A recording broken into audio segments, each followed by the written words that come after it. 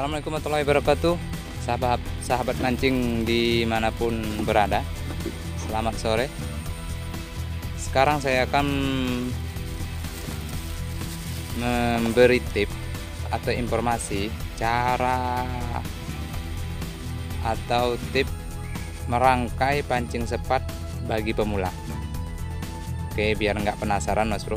Jadi kita Saya kasih tahu sedikit bocoran teknik saya mancing sepat biar jos saat kita mancing sepat let's go mas bro. Oke. Pancing sepat rakitan saya yang pertama kali saya sudah gunakan yaitu mata kail atau hook yang saya gunakan itu nomor 2 mas bro. Ini. Magic Carbon merek Carbon ini size nomor 2 saya selalu pakai nomor 2 karena kalau nomor satu itu sering moncel mas bro atau lepas. Kalau nomor 3 itu kita harus targetnya ikan cepat yang gede. Tapi kalau kita yang mau standar-standar aja yang kecil nangkap yang besar apalagi kita saya pakai kita nomor 2 aja. Ini yang harus kita perhatikan mas bro. Yang kedua yaitu senar tali ini boleh dikatakan wajib. Kita harus pakai pakai yang nomor satu aja 0,1 mm mm ini nomor 0,10 ini yang penting juga mas bro karena kalau senar terlalu gede itu ikannya akan susah makannya. Jadi kalau ada yang 0,08 itu lebih bagus lagi. 0,10 kalau 0,12 masih bisa tapi di saya sarankan lebih memakai lebih kecil daripada 0,12 yaitu 0,10 atau 0,8 itu yang paling penting. Nah untuk senarnya itu agar mudah gunakanlah senar yang warna putih bening. Ini saya gunakan yang warna pelangi nggak masalah karena udah sudah biasa. Karena ikan sepat itu sangat sensitif dengan eh, senar pancing. Jadi kita pakai senar pancing yang yang lebih terang yang lebih kalau di dalam air itu nggak kelihatan gitu. saya pakai ini aja. Pakai 0,10 warnanya warna gelap karena menyesuaikan air di sini airnya gelap rawa-rawa yang gelap. Hitam ya airnya. Makanya saya pakai ini aja nggak masalah. Yang terakhir yaitu pelampungnya mas bro. Pelampungnya yang mini aja. Biar kalau digerak digerak sedikit aja uh, kita udah tahu kalau itu udah mulai di di, kalau di saat ikan sepat makan ya kita udah udah kerasa. Karena pelampungnya nggak terlalu gede jadi mudah aja digeraki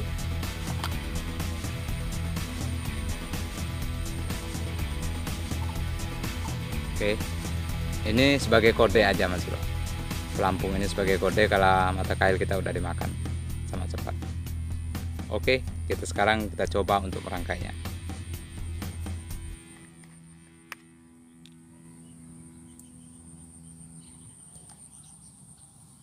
Yang pertama kita lakukan yaitu kita harus masang pelampung seperti ini Mas Bro, pelampung mini tadi. Jika ini saya pakai stopper biar bisa naik turunnya nanti kita setel. Tapi kalau untuk nggak ada stopper kita bisa langsung ikat aja pelampungnya. Ini sekedar untuk pembatas saja mas bro. Oke.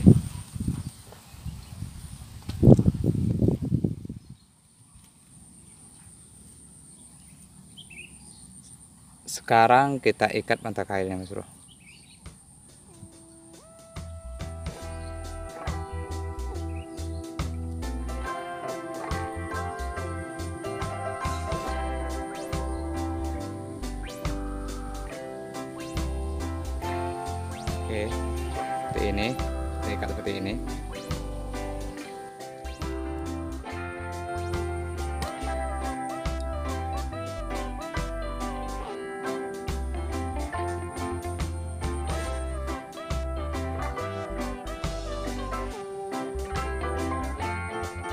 Oke.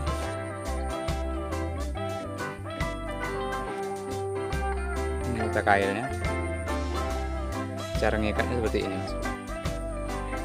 Oke kita masukkan kayak tali yang sini. Kita putar balik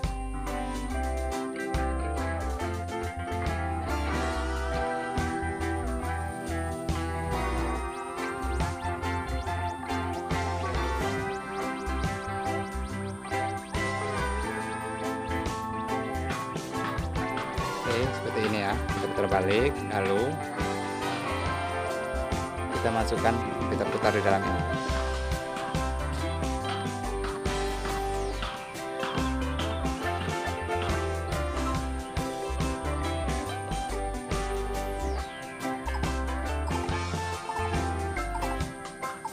Oke, sudah.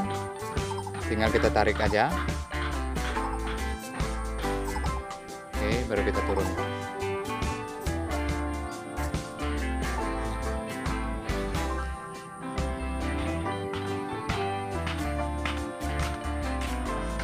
Seperti ini.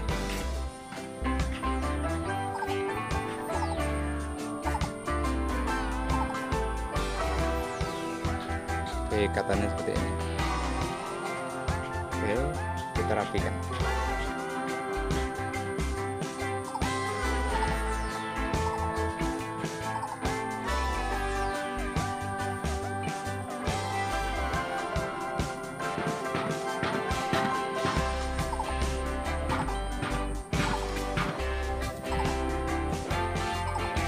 Rangkaian baca sepatnya seperti ini, Mas.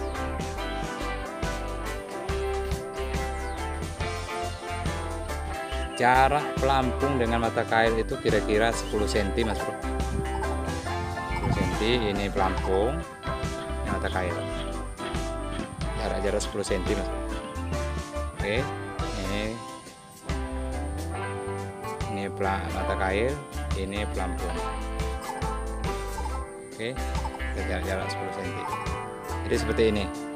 Oke.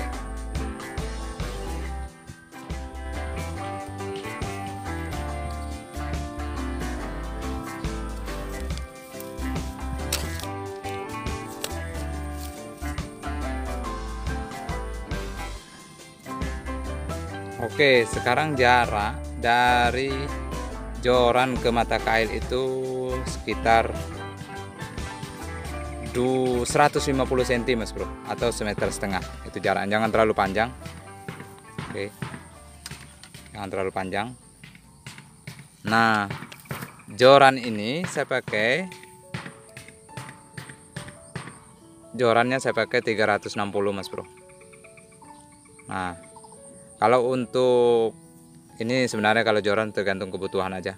270 juga ada 360 atau 4 meter boleh. Saya pakai yang 360 ini yang perlu diperhatikan oleh bagi pemula yang pengen mancing.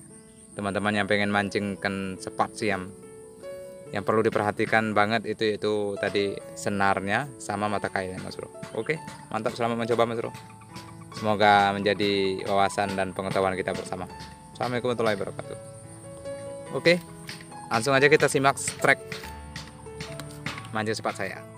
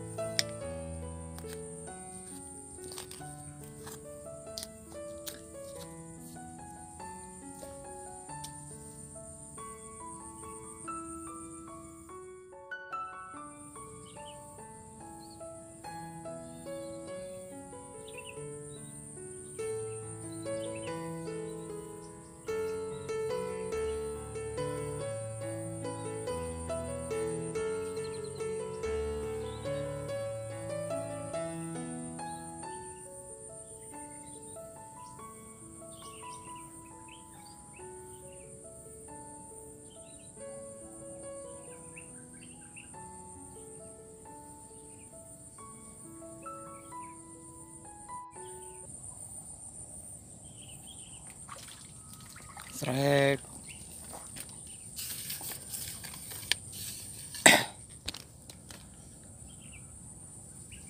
Trek pertama kita Mas Bro. Lumayan lah, ini trek pertama kita. Oke, kita lanjut.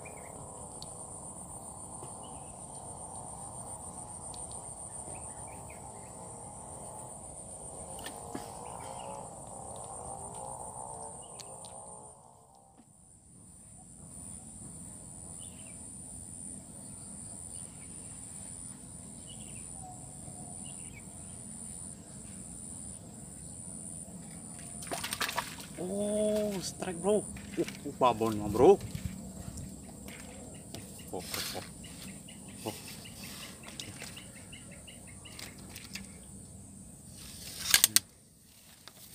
Ini babonnya bro.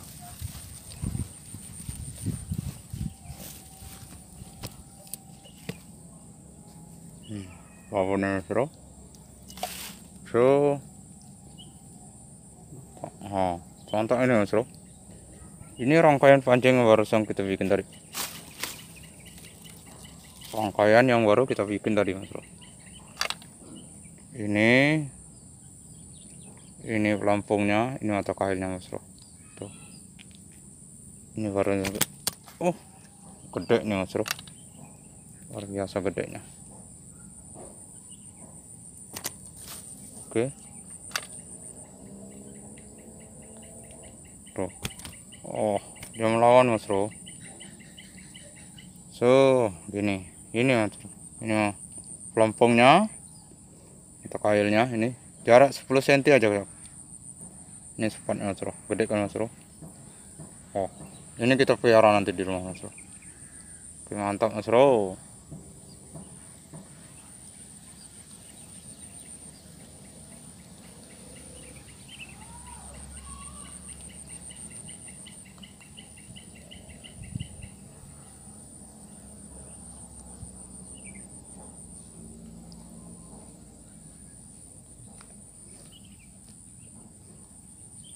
Kalau kita pakai mata kail yang lebih kecil dari ini mas bro Kemungkinan itu ikan yang besar-besar gini lepas. Nah kalau kita pakai yang lebih besar dari ini lagi Itu ikan sepatnya susah makannya mas bro. Karena memang biar bagaimanapun ikan sepatnya gede Tapi tetap matanya eh, Tetap Mulutnya imut mas bro. Kecil. Dia ikannya aja yang gede Tapi mulutnya tetap imut jadi susah nih masuk nancap banget nih masuk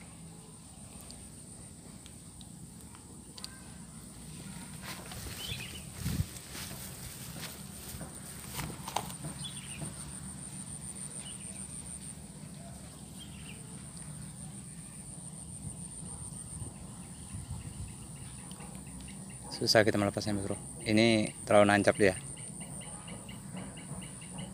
Antara kailnya tadi kita pakai yang baru di oh udah lepas mas bro. Mantap kan mas bro? Selamat mencoba mas bro. Semoga tip ini bermanfaat